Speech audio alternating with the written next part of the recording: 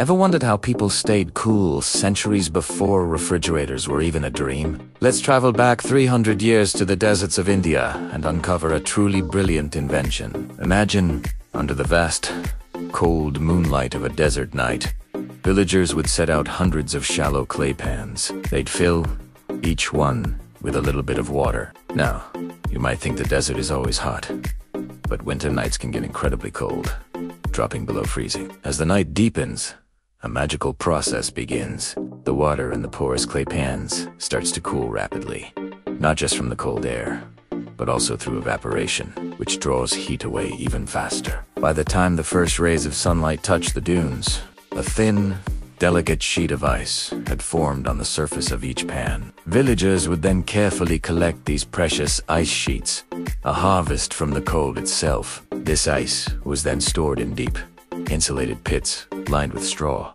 keeping it frozen for months.